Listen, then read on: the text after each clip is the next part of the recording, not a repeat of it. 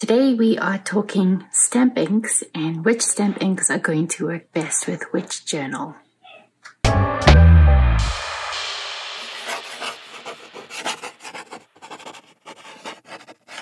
Hi everyone, thank you for joining me today. Today I wanted to take some time and do a video on stamping in a bullet journal. Now this actually turned out to be a lot of information, so I'm going to be breaking the videos up and I'm going to be starting off with explaining what the different ink types are and then the different journals that they work in. So I have grabbed a 80 GSM Moleskine, a 90 GSM Leuchtturm, 100 GSM bullet journal, 120 GSM bullet journal, and the 160 GSM bullet journal as well. And we're going to test out the different inks and see which will work best. But before we get into that, I am going to talk about a dye ink versus a pigment ink versus a distress ink. So these are dye inks. This is from Stampin' Up and this is a Memento fade resistant dye ink. I don't have very many of the dye ink pads and this video is going to explain why. Here we have the two dye inks. Now these are considered a standard ink in the crafting world and they are dye based and water based. These two in particular are water based and because they're water based it means that they soak into the page and they dry very quickly. Now, these will fade over time. This one says it's fade resistant dye ink. I haven't tested that out or I haven't gone back into old scrapbooks to see, but they don't tend to last as long as, say, the pigment inks do. The other difference between the two is that this pad tends to be kind of hard. And I'll show you the comparison with the... So this is the pigment ink that is spongy. And then this is the dye ink that is kind of, it's not as spongy as the pigment ink. And so those are our dye inks. Next up, we have our pigment ink pads. Now, as you saw in the previous section, the pigment ink pads tend to be spongier. The colors are a lot thicker and creamier than the dye inks, and they tend to last longer, so they won't fade over time as quickly as the dye inks. They resist water, which you will see when we get to the coloring in video and so they're great to use with watercolors as well. They do take a lot longer to dry, so you do have to be careful and watch out for smudging. You can heat set it with an embossing gun, or you can just wait a little bit to let it dry. The white pigment inks are particularly bad for that. I do a lot of white stamping in my blackout journal and I will sometimes just let it dry overnight. So yes, they're very thick, they're very creamy, very opaque, and I tend to use these in my bullet journal. And again, we're gonna go and test it out and you will see why. So now we have the, these are the hybrid inks. This is a solvent ink, and then this is a waterproof dye ink. So I kept this one separate because I kept it separate when I did my stamping, but this is an acid-free permanent ink waterproof. And so unlike the other dye inks that are water-based, this one isn't. So you are able to do watercoloring over top of it. But again, we'll get to that in a different video. These StazOn is a solvent ink. So this one you can pretty much use on any surface. You're still going to want to heat set it as well. But it's kind of got that hard surface like the dye inks do and this one smells so you're going to want to use this in a well ventilated area and then these are the hybrids um, this is the most popular hybrid ink brand. It's a hybrid of dye ink and pigment ink that are fused together. Using these stamps, you're not going to get as clear or crisp of an image as using the other kinds of inks we've talked about. And that's what they're designed to do. They're designed to give that distressed look. They are super fun to use. I tend to use mine to create backgrounds, but we'll have a look and see how they hold up in the bullet journals. So the journals I am using today, thanks to my bullet journal review, I have a wide variety. This is an 80 GSM Moleskine journal that we're going to test the inks in. This is a Leuchtturm 1917. This is an Artist Life 100 GSM. This is the Artist Life 120 GSM, and then I'll be using my 160 GSM Archer and Olive notepad. And we'll use these papers to see how they hold up. I wanted to make sure I got a variety of stamps for you so that you could see the quality of the stamp as well as how it reacts on the page. This is an alphabet stamp from Studio Calico. This is a Plan On It School Edition from Lawn Fawn. We'll be using one of the words and some of the images. This is a stamp set by Feed Your Craft. It's called Pattern Play. I'll be using the solid stamp so that you can again see the quality of the ink and also how much bleeds through the page when you use it. And then I wanted to grab some super detailed stamps again to give you the idea of how the ink works and how it looks. And so these are the stamp sets that I've decided to use. So we're going to now go ahead and do the stamping and then we can talk about the results. So looking at the Moleskine, and this is the 80 GSM paper, there is some smudging but not a lot, especially with the memento. There's very little smudging. And if we look at the bleed through, we can see that the memento bled through a lot. Even on the smaller images, there's some feathering and bleed through and tons of ghosting. The same thing with the Stampin' Up. Maybe not quite as much bleed through as the memento, but it's still there, even with the detailed images.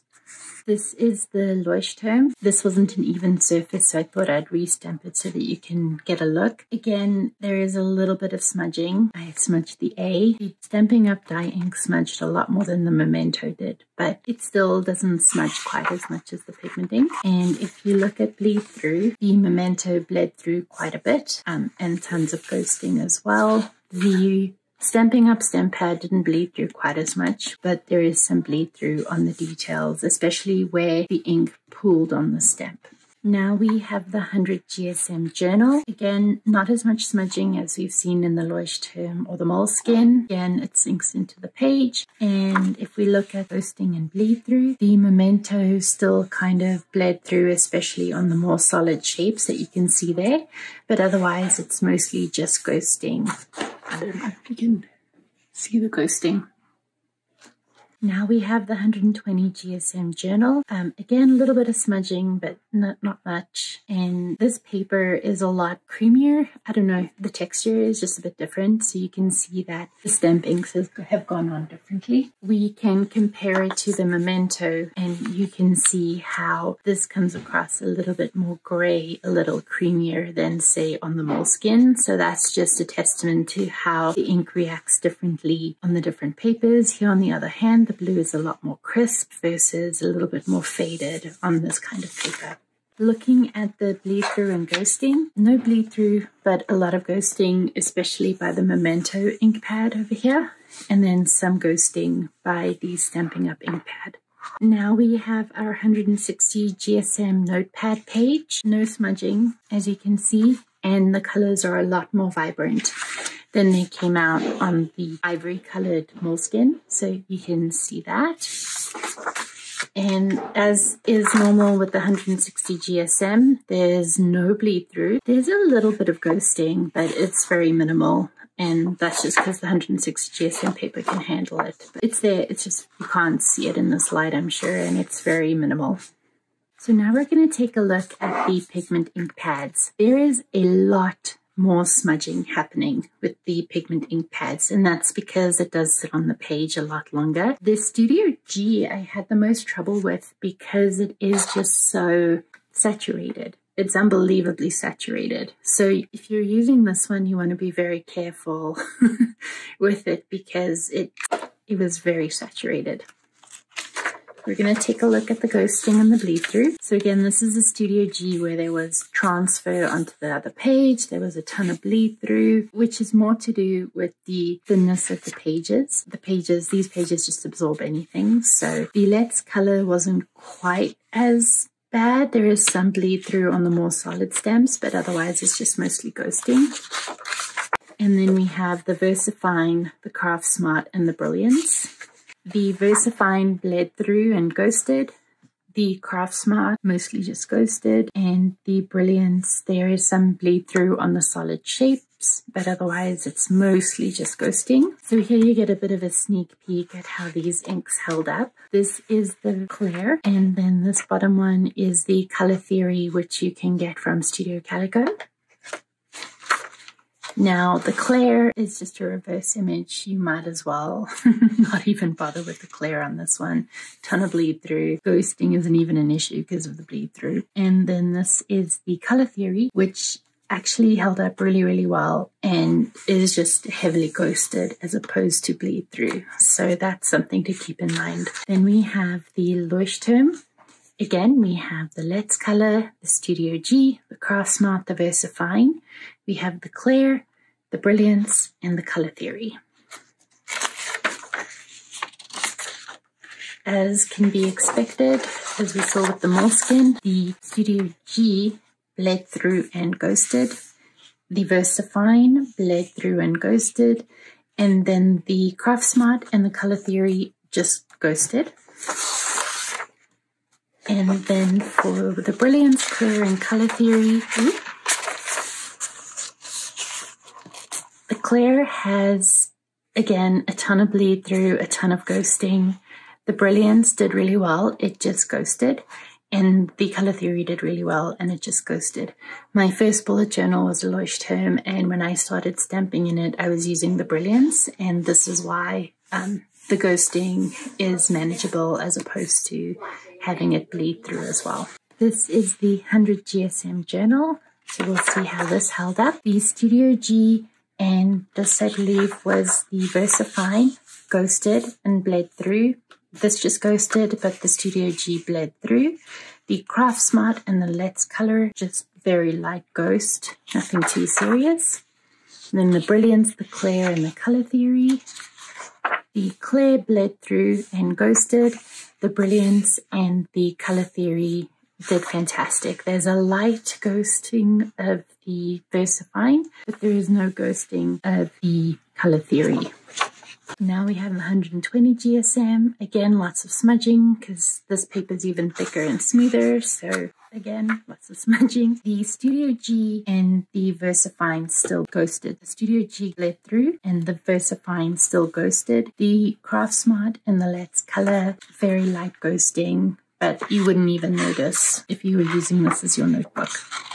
And then we have the Clair, the Brilliance, and the color theory. The Clair again bled through and ghosted. The brilliance and the color theory you can't even see. There's a tiny little bit of ghosting with the brilliance in the alphabet stamp, but otherwise there's you can't see, especially with the color theory. Then we have the 160 GSM. Lots of smudging. the Studio G ghosted. and everything else is fine. The VersaFine didn't even show up. The Clair has some ghosting as well.